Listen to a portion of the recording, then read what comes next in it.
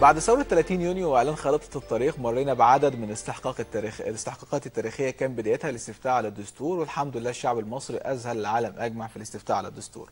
بعد كده جت انتخابات الرئاسة والحمد لله برضه جبنا رئيس جمهورية يستطيع أن يحمل مصر لبر الأمان وأيضا يليق بمكانة ممكن أن تحترم أمام العالم أجمع وده اللي إحنا شايفينه الحمد لله رب العالمين وربنا يا رب ما يخذلناش في أي حد اخترناه. آه، فاضل أهم استحقاق تاريخي وهو الانتخابات البرلمانية القديمة اللي يمكن مش بس الناس اللي بتعلق عليها الأمال لكن المجتمع بأسره. والمجتمع المصري بيعلق الكثير من الأمال على الانتخابات البرلمانية. آخر وأهم استحقاق في خارطه الطريق. طيب إيه أوجه التجهيزات من قبل الأحزاب؟ أو الأحزاب الموجودة هنا في مصر اللي هي المفروض بيبقى ليها دور مهم جدا في الانتخابات البرلمانية وفي الشارع وبيلمسها المواطن بشكل طبيعي. النهارده هيكون محور نقاشنا عن الانتخابات البرلمانية القديمة هذا الاستحقاق التاريخي الهام مع ضيفي الأستاذ سعد أبو بطيحه نائب رئيس حزب مصر الاشتراكي أهلا بك يا فندم. أهلا وسهلا. أهلا وسهلا خليني أسألك من وجهة نظرك الحزبية كيف ينظرون الأحزاب للانتخابات البرلمانية القادمه الأحزاب دلوقتي كلها كل الشغل الشاغل اللي شاغلها إن إزاي تحصل على عدد كبير من المقاعد في البرلمان القادم. تمام. ولكن هي قلقانه من شيء معين. ألا وهو قانون الدوائر اللي لسه هيصدر. تمام. لأن قانون الدوائر ده بيتحدد عليه أمور كتيرة. نعم. ألا وهي آه، عندنا طبعا آه، مقاعد فر- تلتين فردي وعندنا 120 قايمة. تمام. القوايم دي أربع قوايم. قايمتين القايمه 45 اللي هي تبدأ من قايم من الجيزة وبني سويف والفيوم والمنيا وسوهاج و- والأقصر وقنا وإلى أسوان. تمام. والقايمه الثانية بتبدأ من القاهرة ومن القاهرة والقليوبية والمنوفية والغربية والدقهلية ودمياط إلى دمياط. تمام. فحضرتك بنتكلم في سبع محافظات. فسبع محافظات أي حزب لوحده ما يقدرش يعمل قايمة من حاله. لازم يتحد ويعمل ائتلاف مع الأحزاب. تمام. طبعا حضرتك تعرف إن قبل 25 يناير كانت الأحزاب أحزاب آه، وهمية. ما. آه ما كان آه كرتونية آه، وال- دور و- فعال في و- المجتمع. والحكومات السابقة كانت دايما بتضيق على الأحزاب ما تمام. بتخليهاش لها انطلاقة لا في الجامعات ولا في المساجد ولا في المستشفيات ولا في أي تجمعات وكان أي تجمع يتم بيحصل عليه كنترول وممكن الناس تتسجن في الآخر جميل. فبناء عليه الأحزاب من بعد 25 من 20 يناير كان ليها وضع والوضع ده كان بينحصر في ثلاث أحزاب بس هم اللي كانوا مسيطرين برضو في الشارع. نقدر نقول اللي هو كان حزب ال- ال- الحرية والعدالة اللي هم الإخوان المسلمين. تمام. والقط الأسود حزب النور حزب النور السلفي. حزب النور وال والحزب الوطني ورجالته واخد بال حضرتك؟ وطبعا بعد الثورة وبعد ما الشعب كله ساعد ومكن الإخوان المسلمين من الوصول إلى السلطة آه، طبعا خذلونا. ونقدر نقول إن هم سيطروا على البلد وحطوا في راسهم إن هم اللي بيفهموا والشعب كله ما بيفهمش تمام. وفصلوا نفسهم في ركن بعيد عن الشعب المصري تمام. حتى خلى فط... الفترة اللي كان فيها الحكم آه، حكم الإخوان المسلمين موجود في البلد كان حضرتك لما.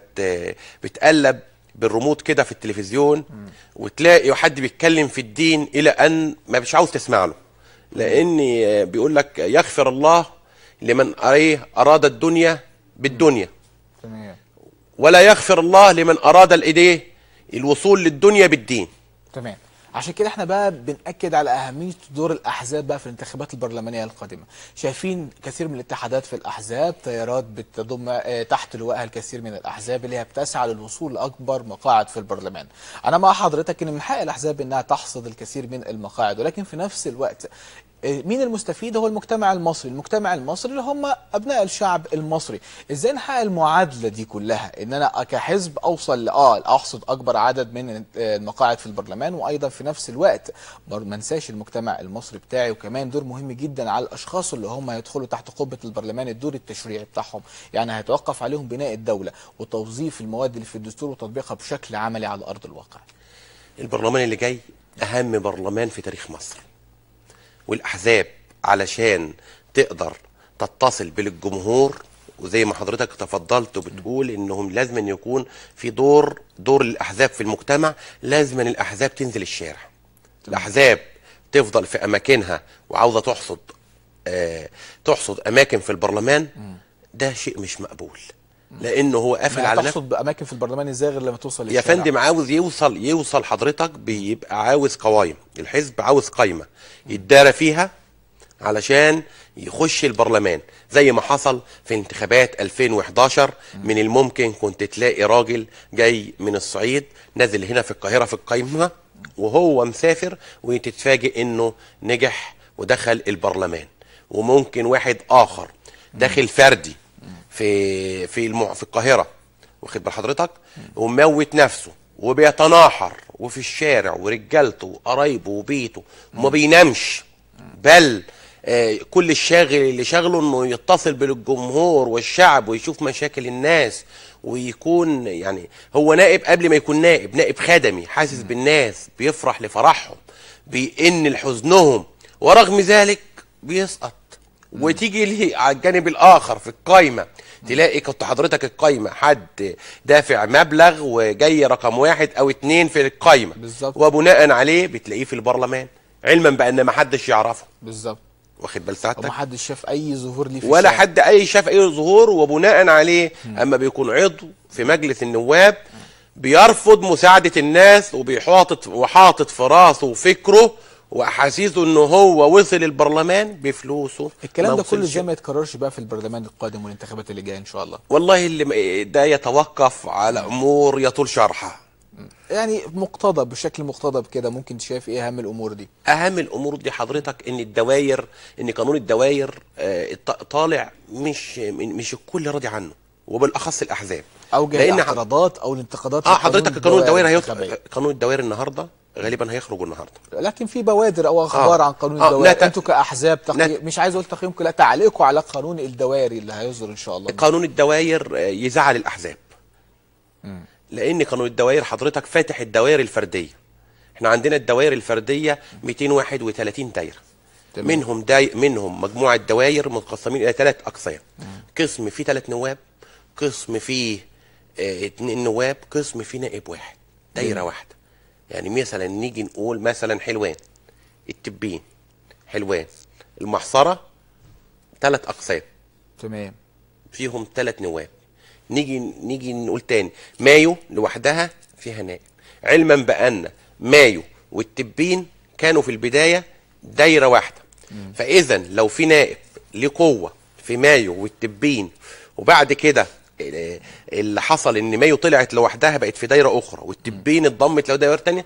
مرشح الدايرة دي مطلوب منه هيبقى عليه مشقة كبيرة جدا ألا وهي لازم ينفق في الدايرة ولازما يشد حيله في الدايرة. ومحتاجة مصاريف وأموال كبيرة علشان يقدر يسيطر ويقدر يعمل دعاية كبيرة جميل. لأن حضرتك الناس بت... علشان عشان تنتخب مرشح لازما بيكون ليه تقل في الدايرة ولازما بيصرف ولازما آه، يصرف بيت- بمعنى آه، يا فندم. لأن في ناس ممكن تفهمها غلط لا، يصرف لا، إن. أنا بديهم زيت وسكر لا يا. فندم بي آه. بيصرف في الدايرة عبارة عن إنه لازم بيدفع آه، حضرتك الدعاية بتاعته. بالظبط. النهارده كل حاجة غالية عشان يجيب آه، 50 واحد يعمل له الدعاية. تخيل كل واحد النهارده أقل ما فيها هياخد 100 جنيه في اليوم آه، في 50 يعني واحد. دي خم... يصرف ما يمكن من خلاله معرفة الناس بيه يعرف آه، الناس آه، بيه بيعرف يقول لهم إيه اللي أنا هعمله لو تم بيصرف. الدعاية بتاعته بيجيب ناس توزع المنشورات بتاعته بيجيب ناس تو- تعرض البرنامج بتاعه بيجيب سواعد معاه في كل مكان. لأن حضرتك تقدر تقول إن الدايرة كل اسم بينقسم إلى 12 منطقة كل منطقة بها عدد من السكان. متراميه الأطراف وعلى سبيل مناطق كبيرة زي عزبة الوالدة والملأ وعرب وغنيم تمام. أماكن متشعبة تمام. محتاجة ناس فهو لوحده أو أهليته لوحده ما يقدرش يسيطر أو يقدر يعمل الدعاية الانتخابية المناسبة علما. بأن في ناس محترمة جدا تمام طيب بس بالنسبة ما بقى بيقدرش. يسوق نفسه ما بيقدرش يسوق نفسه فعشان آه. كده الناس ما بتقدرش تعرفه لأن المرء مخبوء تحت لسانه. داخل إذا تكلم عندنا- ظهر داخل عندنا تخوف أو تولد تخوف إن ممكن يكون في الانتخابات اللي جاية ناس تعتمد على المال فقط وليس الكفاءة؟ يا فندم ده أكيد في الوضع في قانون الدوائر اللي صادر دلوقتي اللي هم ال 231 دايرة. طبعا حضرتك أنا آه، يعني واحد من الناس عاوز أخش. داخل في دايرة كنت بخش الأول في اسم. الاسم ده كان عارفني النهارده اتفرض عليك اسمين إيه آخرين ولو ما نشرتش دعاية فيهم وصرفت طبعا كلمة دعاية فيهم يعني لازم تصرف فيهم تمام. تصرف دعاية من حيث حضرتك الدعاية الورقية آه، حضرتك محتاجة وقت إنك تلف على الناس والعائلات والمناظر طبعاً، آه. وتقنعهم بقى بأفكارك وتصوراتك علشان تحظى بثقتهم فيك تمام. ويطلعوا في الانتخابات يصوتوا ليك. تمام. ومحتاج حاجات أخرى كعربيات بتلف في الدوائر طبعا. محتاج عربيات بتن... في عندنا كارثة كبيرة ألا وهي ممكن واحد يكون صوته مثلا من منطقة وإن يكن تبع اسم حلوان. جميل. اسم حلوان حضرتك بيبدأ يعني مترامي الأطراف كبير المساحة بتاعته كبيرة شوية. تمام. فممكن آه، واحد يكون من من عزبة الوالدة. والصوت بتاعه تلاقيه في التبين. وواحد من التبين يجي ينتخب في عزبة الوالدة. كنا بنطلب إن كل منطقة يكون فيها يعني عدد السكان بتاعة المنطقة تنتخب في مدرسة المنطقة نفسها. آه. بحيث يكون في حصر منش- الأصوات دي أيوه ويكون في نفس المنطقة. بحيث ما نشكش على المرشحين. إنهم يجيبوا عربيات ونشك على الناخبين. إنه كلهم ي- إيه بيطلعوا من المكان ده لمكان آخر بعيد يبعد عنه 30 كيلو. في 30 كيلو بيتعرض لمشاكل بيتعرض ل طيب يعني كل اللي حضرتك ذكرته ده يمكن خاص بالانتخابات الفردية أو المستقلة. طب بالنسبة للأحزاب بقى إيه المشاكل اللي شايفاها الأحزاب في قانون الدوائر الانتخابية ده؟ آه، الأحزاب قانون المشاكل زي ما قلت لحضرتك بالنسبة للأحزاب غالبية الأحزاب في أحزاب فقيرة. ما عندهاش مال تنفقه في الانتخابات. فلما الدوائر بتكبر فاذا المرشح الفردي بتاع الحزب فرصته بتقل. جنب أصحاب المصانع ورجال الأعمال والناس اللي معاها أموال طائلة. تمام. فبناء أما ده بيتحط في نفس المستوى ده وهنبدأ السباق اللي بيكون بيقدر اللي هو بيأجر ناس وبيشتغل وبيدفع فلوس هو ده اللي بيكون انتشاره بسرعة. هو اللي تمام. بيقدر يتحرك في المدارس كلها واخد بال حضرتك؟ اللي بيقدر يتحرك في المدارس وبيجيب لكل لجنة آه، اتنين يقفوا تمام. واخد بال سعادتك؟ في الحالة اللي زي كده إيه اللي بيتم؟ الراجل ده بي إحنا دايما بنطالب بتفعيل دور الرقابة في الحاجات دي لازم يكون في تشريع مهم جدا يكون رادع لكل الأحزاب أو لكل آه، آه، آه، من يسعى للبرلمان بشكل سلبي وليس بشكل اللي هو منشود ليه. إحنا بنسعى نكون في برلمان مثقف برلمان قادر على بلورة التشريعات بشكل أمثل ولصالح المصريين. ده اللي إحنا محتاجينه الفترة اللي جاية. مش محتاجين بقى السلبيات اللي إحنا كنا نشوف في الانتخابات واللي حضرتك ذكرتها إن أنا مثلا كنائب مترشح على الدايره بتاعتي لازم يكون الرجاله بتاعتي موجودين وان أنا اغتصب المكان ده من حد تاني فما ينفعش الكلام ده. كل السلبيات دي عايزين نستفاد منها ونحولها لايجابيات بقى في الانتخابات اللي جاية. ممكن نراها إزاي من وجهة نظر حضرتك يعني كعضو في حزب أو كنائب حزب؟ آه، الموضوع ده زي ما قلت لحضرتك ه- يعني مطلوب آه، مش هنقدر نحله النهارده نعم. يعني ممكن بعد أول برلمان اللي هو البرلمان العظيم هيتم تعديل بعض آه، بعض آه، واخد بال حضرتك؟ تمام. بعض النقاط في الدستور هيتم تعديل الأماكن ديك نرجع للدوائر الصغيرة بتاعتنا تاني. تمام. علشان المرشح نفسه اللي الناس عاوزاه فعلا آه، يكون في المكان بتاعه صغير. تمام. آه، عدد عدد المنتخبين ال- ال- الناس المنتخبة عددها قليل. تمام. فهتقدر تختاره بدون ما يصرف لأن هو ما ما معهوش مصروف. لأن غالبا كل الناس اللي الناس فعلا عاوزاها ما معهاش تقدر تنفق في الانتخابات فبناء عليه حتى لو قدر يحصل على عدد معين من الأصوات ما بيقدرش يسيطر على باقي الدايرة لأن باقي الدايرة كبير. طيب قانون الدوائر الانتخابية بعد صدوره لو وجد يعني عدم قبول من قبل الأحزاب وبعض الناس اللي هم المستقلين اللي هيرشحوا فردي يعني هل في إمكانية لتعديل القانون ده؟ يطعن عليه يا فندم. يطعن على قانون الدوائر. تمام. ولكن إلى الآن قانون الدوائر ما خرجش. لأن في اللجنة التشريعية في مجلس الدولة والسيد المستشار نائب رئيس مجلس الدولة نعم. بيفحصوا فحص دقيق حتى لا يطعن عليه وإنه هيعرض على الدستورية حتى ما ياخدش عدم دستورية لأن لو طلع بالشكل اللي إحنا اللي إحنا الاعلام طلعه والتصريحات اللي طلعت من لجنة آه، من لجنة آه، آه، نفسها نعم المجلس الشعب هيحكم عليه بالإعدام قبل ولادته. يعني افهم كلام حضرتك يمكن هناك نية لدى الأحزاب بالطعن على قانون الدور الانتخابية الجديد. لا هناك نية فعلا. آه. لو طلع بهذه الصورة اللي إحنا سامعين عنها بالظبط. ولكن ضع المقادير تجري في أعناتها ننتظر لحين. ظهور الإيه؟ رغم يعني. ظهور بوادر بعض الأخبار عن القانون ولكن برضه علينا إن إحنا ننتظر ونشوف زي ما حضرتك قلت القانون وما يسفر عنه من مواد وبعد كده إحنا يعني أو أنتوا كأحزاب تقرروا انكم تطعنوا عليه أو لا. طيب نتكلم بقى عن اللي بيقع عليه العبء الأكبر والمسؤولية العظمى وهو اختيار الناخب اللي هو هيمثله في الانتخابات البرلمانيه القادمة، الشعب بقى ممكن إزاي نوعي الشعب ونقول لهم لا ده الانتخاب البرلمان القادم غير أي برلمان جه قبل كده، ده أهم برلمان في تاريخ مصر ومش بنبالغ لما نقول الانتخابات البرلمانية اللي جاية أهم انتخابات في تاريخ مصر، لا فعلا لأن صلاحيات مجلس الشعب القادم توازي صلاحيات رئيس الجمهورية، عضو مجلس الشعب القادم يعول عليه الكثير والكثير والكثير، من هذا الكثير هو أن يكون لديه المقدرة على تشريع القوانين اللي هتمشي البلد سنين قدام، لذلك أقف عند هذه النقطة وأؤكد ما هو الواجب لدى الشعب أو أهالي الدائرة اللي هيختاروا النائب اللي هيمثلهم في البرلمان؟ آه، أهم شيء للناس يحطوا في راسهم إن البرلمان اللي جاي أهم برلمان وإن البرلمان الجاي عضو مجلس الشعب اللي جاي له صلاحيات ما كانتش موجودة في تاريخ مصر. نعم. أي أن لو 60 عضو من مجلس الشعب 60 عضو صح يقدروا يسحبوا الثقة من وزير يقدروا يشيلوا وزير يغيروا قرار وزير. تمام. ما كانتش موجودة قبل كده. 120 عضو من أعضاء مجلس الشعب يغيروا قرار رئيس الجمهورية. فاحنا محتاجين الناس تختار كويس وما يهمهاش شكل المرشح. أهم شيء تسأل على تاريخ المرشح وتفحصه كويس جدا جدا جدا. لأن الراجل ده هيمثل الدائرة. ومجلس الشعب اللي جاي لو ما جاش مجلس شعب بيحب الوطن هنتفاجأ بمجلس شعب زي خفافيش الظلام هيتواجدوا ويعملوا لنا بلبلة بل ممكن يعيدوا البلد ونبدأ من الصفر مرة تانية وتالتة ورابعة. نحرص كويس نعم. وفي اختيار المرشح نختار رجل وطني. رجل بيحب مصر. رجل يؤيد القيادة السياسية. علشان القيادة السياسية ده الرئيس السيسي النهاردة راجل زي قبطان ماسك الدفة في السفينة. تمام. كل الكل يصيب ويخطئ. بالظبط ولكن إذا إذا إذا أخطأ في البعض فقد إيه؟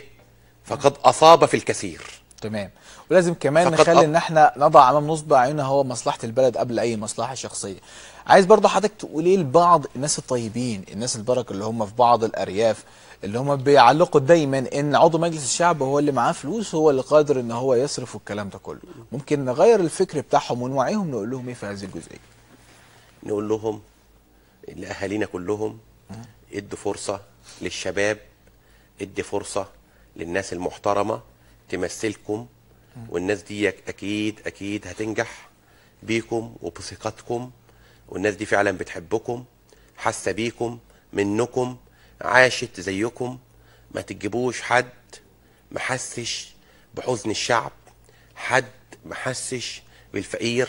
هاتوا واحد من تحت بادئ معاكم من الصفر. بالظبط. الرئيس السادات نجح في حكم مصر لأن سياده الرئيس محمد أنور السادات رحمه الله هذا الرجل آه، بدأ من تحت نعم. اتمرمط في الشارع. عاش هموم الشعب وعرف متطلباته واحتياجاته. حزن اشتغل كل جميع شغلات. جميع أصناف المهن. نعم. فبناء عليه لما كان رئيس لما بقى رئيس قدر يفهم قدر يحكم قدر يحس بالناس. لو نفتكر كده سنة 80 لما قالوا أو 79 لما قالوا اللحمة بدأت تغلى قال نبطل اللحمة شهر. لما بطل اللحمة شهر إيه اللي حصل؟ رخص اللحمة رخصت. واخد حضرتك؟ كان راجل صارم. فبناء عليه حس بالإيه؟ بالشعب. الرئيس مبارك الرئيس مبارك آه، فشل ليه؟ لأنه كانت دماغه عسكرية بس ما حسش بالشعب. تمام. ما يقدرش يشيل من راسه الأحكام اللي هو الإيه ال- الحكم العسكري بتاعه. الجبس اللي في راسهم ما قدروش يشيلوه. فبناء عليه فشلوا فشل ذريع. عشان كده لازم الشعب المصري يكون عنده خلفية ودراية إن الانتخابات اللي جاية مش بتقتصر فقط على هم أصحاب المال والنفوذ والكلام ده كله. إحنا أعتقد مرينا بانتخابات برلمانية كتير جدا ومرينا بعصور وعهود كثيرة جدا.